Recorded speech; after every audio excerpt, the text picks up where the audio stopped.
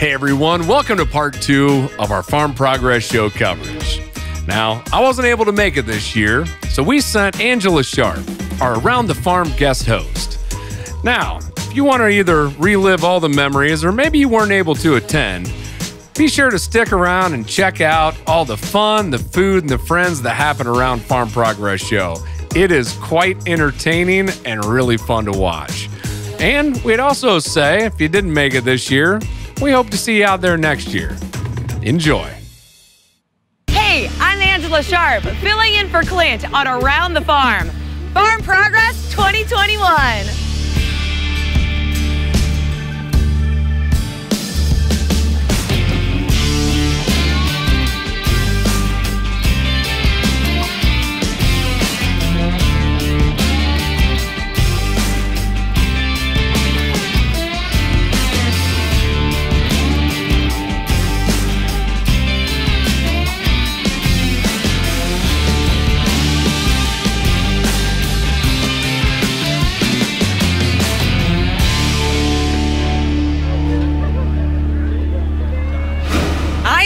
Farm Progress. I am so excited to be here. We're going to go visit the welcome booth and find out what we need to see and do.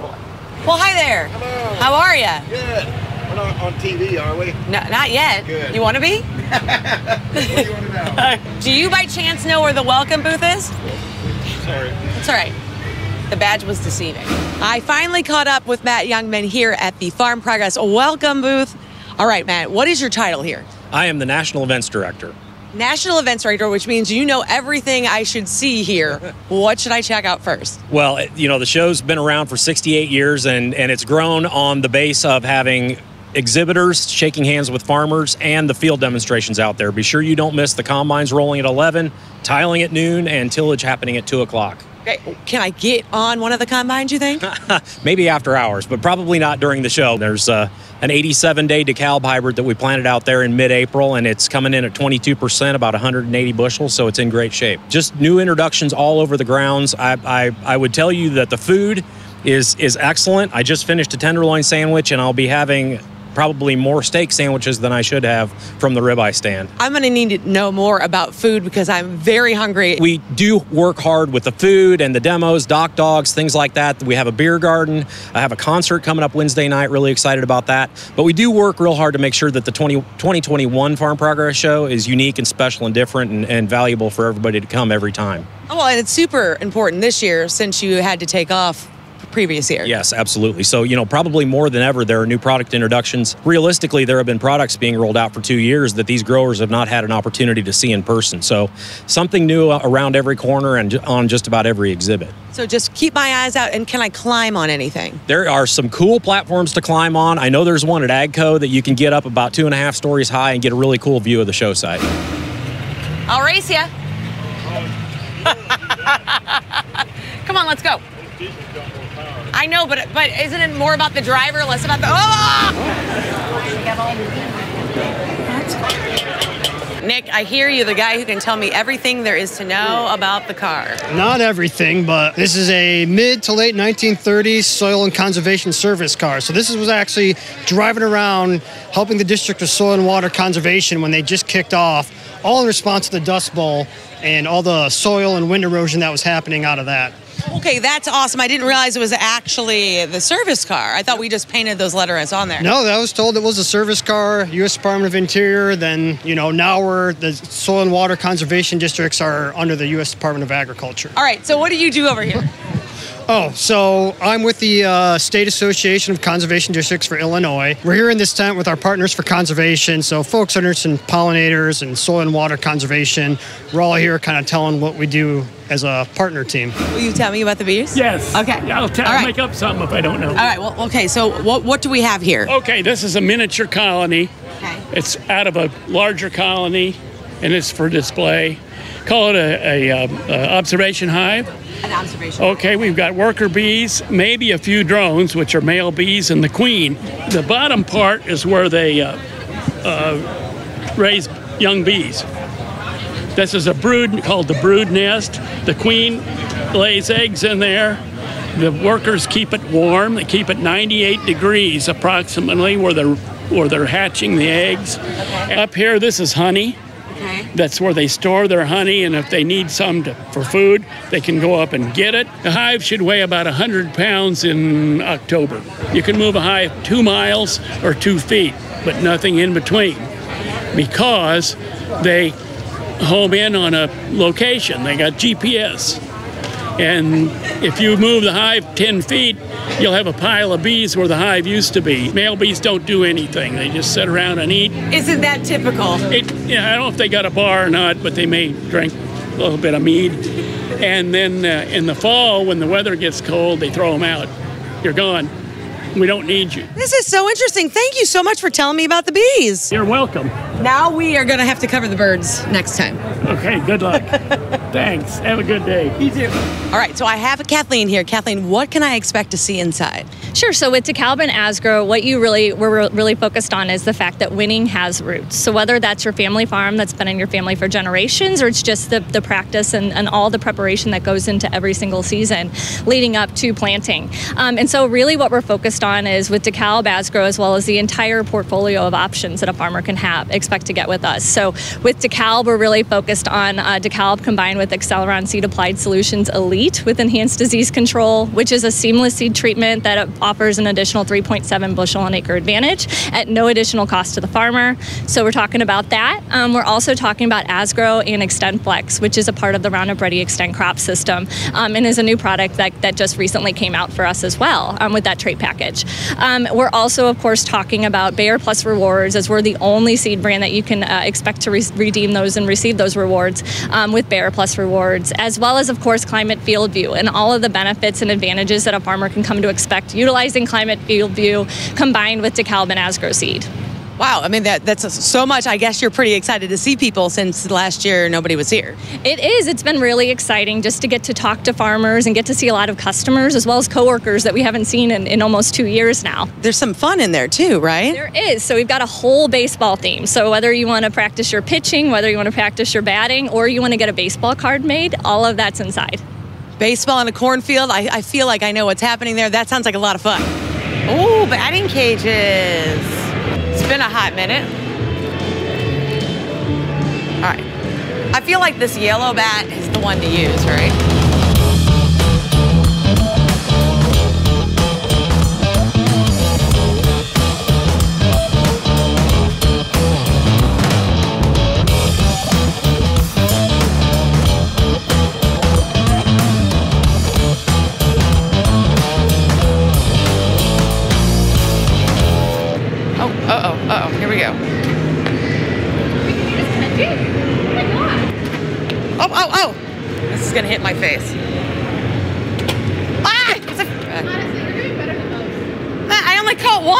Good.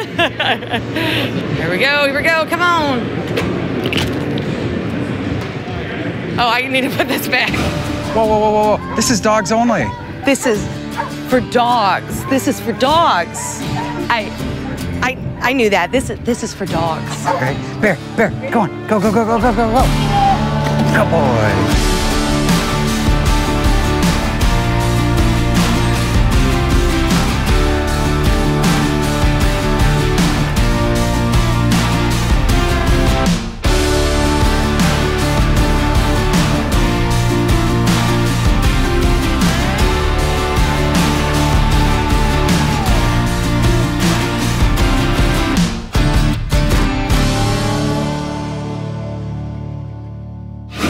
I caught up with Johnny Cash, the Mustang from Las Vegas. All right, Mr. Cash, how are you enjoying the show today? My my legs How's it going? are in charge more of How's it how's it going? I'm gonna pet you. Because everybody needs to be pet. Did? Yeah. Everything is a drawing motion. I'll stop. Out of my legs back. And my legs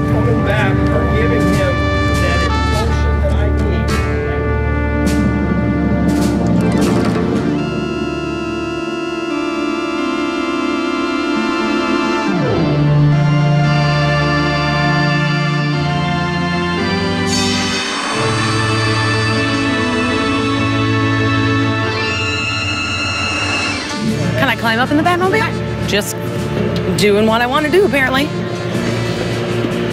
Ooh, the seat. This is lovely. I like the big view. Makes me feel like really important. I mean, it's huge. I also feel a little bit like Batman. I need one of those masks. Batman.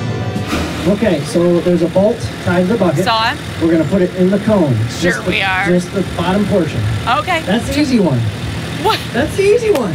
Once you do that, you have to come over here and put the football in the bucket. Three, Yay! two, one, go! I will do my best to help you along the way. You did wear the appropriate footwear. That's good to see. That that I got. I got the costuming. Good to see. You don't have a sun hat though. It is awful sunny today. Yeah, I'm Hungarian. I'm Hungarian. It's all right. Oh, she's right there. Look at that. I think she's been paying attention, folks. Oh, come on! You're right there. And no one's been injured yet. Ah! Left hand forward. Boom. Yay! All right, cool. All right, now go with the bucket. That wasn't what I was supposed No. to do. Hi there. How are you? I'm good. Chris Allen. Uh, Angella Sharpe. pleasure You're so you. friendly. Well, thank you. It's, uh, it's awesome, and I love the shirt, by the way. Well, thank you. Go Cardinals. I got some Cub fans back there, so we better keep We- it low. Let's keep them back there. There That's you fine. go. We That's don't. We don't need them close to us.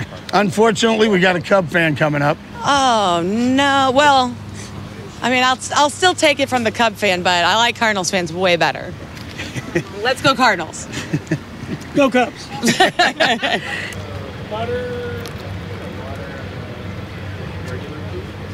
It doesn't need butter. It doesn't need butter. It's sweet corn. It doesn't need butter. That's right. We actually ate some of that off of the air this morning, right out of the cooler when we got it. this is really good. Freshly picked. It is good, isn't it? Yeah. And I can pick up the interview if you'd like. You- there you go. Here we go.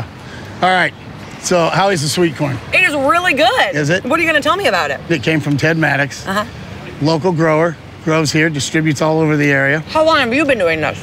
I've been doing this for 16 years. This is number eight for us. Every other year for 16 years. I love that. What do you do when you're not doing this event? My wife and I also own a food truck and a food trailer that we do on the weekends locally. Which one's the wife? My wife is right over here, Michelle. Hi, wife. That's that's the boss right there. That's the boss right there. That's the way it's the boss. supposed to be. See, he Absolutely. learned. Well, it took me a lot of years, but I finally figured out. We sell between five and six thousand ribeyes at this event.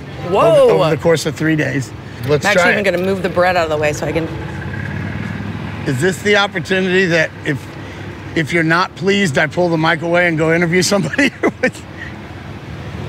This is really good. Now I know why your line was so long the first time I drove by. Well, I, I appreciate that. You know, it's, it's hard to satisfy everybody. We do our best. We start cooking actually at five in the morning. Five in the morning. Yes, ma'am. We fire up our grills at five in the morning. We've got proofers that hold hold at temp, so there's no extra cooking going on while they're in the proofer. They're just holding temp.